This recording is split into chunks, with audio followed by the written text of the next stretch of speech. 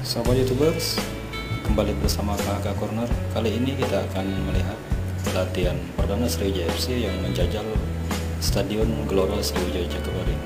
Ya, mari kita saksikan ini kondisi terbaru Stadion Gelora Jakabaring yang dipuji oleh pelatih RD karena kualitas rumput dan semua fasilitasnya.